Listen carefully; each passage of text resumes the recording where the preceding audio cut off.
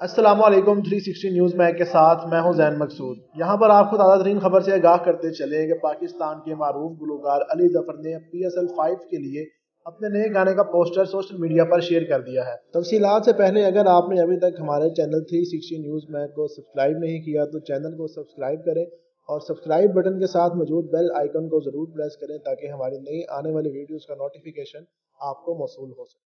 तो आइए चलते हैं वीडियो की तरफ़। और जराए के मुताबिक एक दो दिन में अली ज़फ़र इस गाने की कंप्लीट वीडियो रिलीज़ कर देंगे।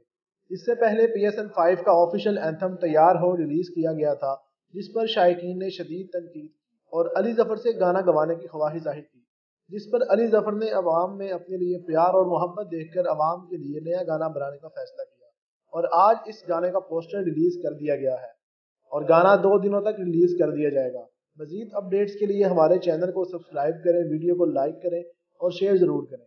इन दोबारा हाजिर होंगे एक नई वीडियो के साथ। अल्लाह हाफि